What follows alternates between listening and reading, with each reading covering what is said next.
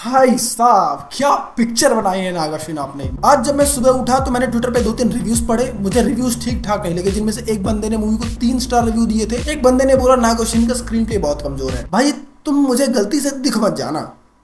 क्योंकि screen play क्या होता है? बंदा ये मूवी में खा गया है। इस मूवी का इंटरनल ब्लॉक और फाइनल ब्लॉक क्लाइमैक्स इसका बहुत बड़ा एग्जांपल है। और वैसे पता है, मेरे थिएटर में एक बंदा था जो बोल रहा था कि क्या बकवास मूवी है। अब मुझे जल्दी से आके रिव्यू बनाना था, वरना दो दो हाथ करके आता मैं थिएटर में उससे। अगर तुम अभी भी मूवी के रिव्यू का वेट कर रहे हो, मत वेट करो।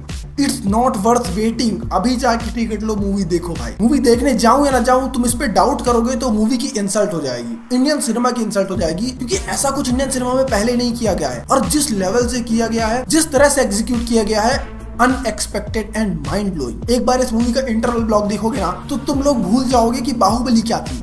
हाँ मज़ाक नहीं कर रहा हूँ मेरे जैसे पता नहीं, मेरे एज के कितने सारे लोगों ने थिएटर्स में बाहुबली नहीं देखी। और अगर तुमने बाहुबली को थिएटर्स में मिस किया तो दिस इज़ योर टाइम क्योंकि this is the next Baahubali of Indian cinema और भाई साहब, नागार्जुन की जितनी तारीफ़ की जाए, उतनी कम है, क्योंकि बंदे ने हर एक प्रॉब्लम का एक बैकअप सोल्यूशन ऑलरेडी रख रखा था। मूवी की बात करें तो मूवी की स्टोरी तुम्हें थोड़ी बहुत कंफ्यूजिंग स्टार्टिंग में लग सकती है बट एंड आते आते एवरीथिंग मेक सेंस और ट्रेलर के आने के बाद हम सब ऑडियंस यही सोच रहे थे कि भाई, प्रभास कल की है या नहीं? बट नाग अश्विन ने एक अनएक्सपेक्टेड सा गेम खेला और मूवी के एंड में जाके वो बॉम्ब फोड़ा। अब तुम जाके वो सीधा मूवी पे एक्सपीरियंस करो। बट इस ट्विस्ट की वजह से मूवी के पार्ट टू के लिए बहुत बड़े सेटअप हो चुका है, जिसको मैं अपनी अगली वीडियो में डिस्कस करूँगा। खैर डिटेल में बात करें तो मूवी एक बहुत हाई नोट पे स्टार्ट होती है, जहाँ एक महाभारत के ब्लॉक को दिखाया जाता है and it's just mind blowing क्योंकि वो सीक्वेंस बहुत ज़्यादा पावरफुल है। और उसके ठीक बाद मूवी धीरे धीरे चीज़ों को सेटअप करती है और अपने प्रभास के कैरेक्टर को इंट्रोड्यूस कराती है। और जब प्रभास का कैरेक्टर इंट्रोड्यूस होता है तो अपने साथ लाता है थोड़ा बहुत ह्यूमर और कॉमेडी जो कि कई के जहाँ पे वर्क करती है और कई के यहाँ पे हिट एंड मिस हो सकती है। लेकिन मूवी के सेकंड हाफ़ में जब भैरवा को सीरियस होना होता है,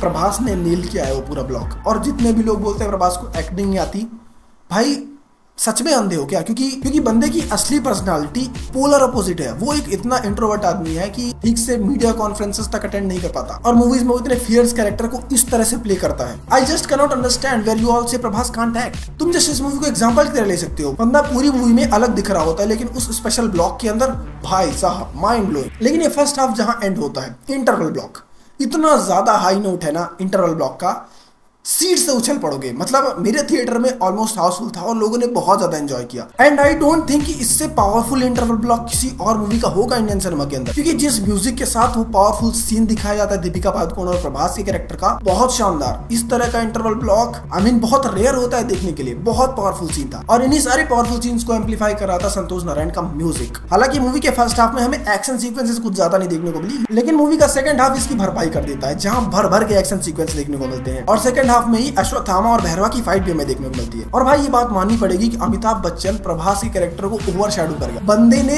खा लिया है भाई, पूरी पिक्चर खींच ली प्रभास से। जिस तरह से अश्वत्थामा के कैरेक्टर को लिखा गया है और उतने अच्छे तरीके से अश्वत्थामा को एग्जीक्यूट किया है अमिताभ बच्चन ने। बहुत ज़बरदस्त नेल किया है अमिताभ बच्चन ने। और हाँ मूवी के एंड ब्लॉक आने से पहले तुम्हें रियलाइज़ भी नहीं होगा कि प्रभास की मूवी है। ओवरऑल ये अश्वत्थामा की मूवी लग रही होती है बट वो एक एंड सीक्वेंस है जो अश्वत्थामा से पूरी लाइन लाइट खींच के ले जाता है और भैरवा के ऊपर शिफ्ट कर देता है। इन्हीं सबके बीच मूवी के विजुअल्स इतने शानदार है कि तारीफ़ कम पड़ेगी। और देख के लगता है कि भाई मूवी की वीएफएक्स डिपार्टमेंट ने काफ़ी ज़्यादा मेहनत की है और 600 करोड़ का बजट इतने बड़े प्रोडक्शन क्वालिटी के साथ जस्टिफाइड भी लगता है। अब मूवी इससे पहले दो बार हाई नोट टच करती है, एक अपने स्टार्टिंग ब्लॉक में और दूसरा इंटरवल ब्लॉक में। लेकिन जब मूवी अपने क्लाइमैक्स पे आती है और इस मूवी का क्लाइमैक्स ब्लॉक इन दोनों ही हाई नोट्स को तोड़ के एक नया बार सेट करता है, जो की इस मूवी के पार्ट टू के लिए बहुत ज़्यादा हाई बना देता है। एंड आई पर्सनली थिंक कि कल्कि का पार्ट टू बाहुबली टू से कितना ज़्यादा बड़ा होने वाला है। इट्स जस्ट अनइमेजिनेबल अब इतनी सारी तारीफ़ मैंने मूवी की कर दी है तो ऐसा नहीं है कि मूवी में फ्लॉज नहीं है। मूवी में फ्लॉज हैं बट उन्हें इजिली इग्नोर किया जा सकता है। सबसे पहले जो प्रॉप्स यूज़ किए गए हैं गन्स वगैरह के लिए, वो थोड़े फेक लगते हैं, खासकर संभाला के जो लोग हैं। वो लोग जो गन यूज़ कर रहे हैं, वो थोड़ा फेक लग रही होती है बट उसको तुम इजिली इग्नोर कर सकते हो। साथ ही कुछ जगह पे वीएफएक्स ऑफ़ ज़रूर लगता है बट इट्स इजिली इग्नोरेबल क्योंकि 600 करोड़ के बजट में इतनी बढ़िया पिक्चर बना दी। वही बहुत हैरानी की बात है, क्योंकि इतनी अच्छी पिक्चर बनाने के लिए 600 करोड़ का भी बजट कम लगेगा,